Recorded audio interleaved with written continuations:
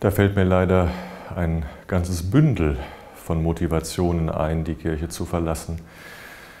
Als allererstes natürlich die Lage überhaupt, ständig neue Skandale, dieser Missbrauchskomplex, der uns äh, beschäftigt, der uns sehr nachhaltig erschüttert, aber auch Unzufriedenheit mit katholischen Lehrpositionen, Enttäuschungen über Amtsträger, mh, hm, vielleicht einfach auch manchmal nur ja, die fehlende Beheimatung in der Gemeinschaft der Kirche, wo nichts mehr ist, was trägt, wo die Bedeutung äh, geschwunden ist. Warum soll ich eigentlich noch zur Kirche gehören? Ähm, und nicht zuletzt, manche denken wahrscheinlich auch ans Sparen und sagen, Kirchensteuer, das kann ich mir locker sparen, das braucht es nicht, ähm, da trete ich lieber aus. Also ein ganzes Bündel von ähm, Motiven, warum jemand sagen kann, ich trete aus der Kirche aus.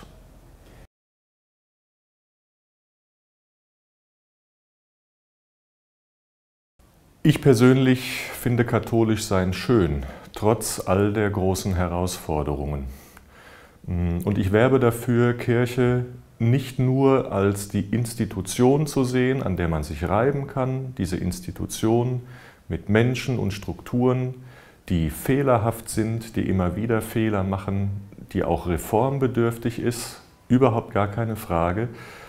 Aber ich lade immer dazu ein, den Mehrwert ähm, der Kirche in den Blick zu nehmen. Kirche ist gelebte Gemeinschaft.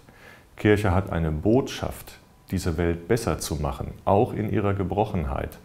Und ich persönlich habe das in meinem Leben erfahren. Ich habe noch nie auf einer Kfz-Zulassungsstelle oder von irgendeinem Verein gesagt bekommen, Mensch, du bist gewollt, Mensch, du bist geliebt, Mensch, du hast Zukunft, tu dich mit anderen zusammen und gestalte sie aus dem Glauben an Gott heraus, dem du dein Leben verdankst und der dich in die Zukunft führt.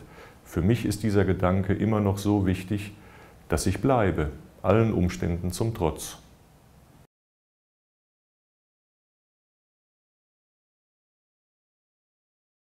Ich war ja Pfarrer hier im Hamburger Nordosten und habe mit einigen Menschen zu tun gehabt, die sich mit dem Gedanken getragen haben, aus der Kirche auszutreten. Mit denen habe ich sehr, sehr intensiv gesprochen.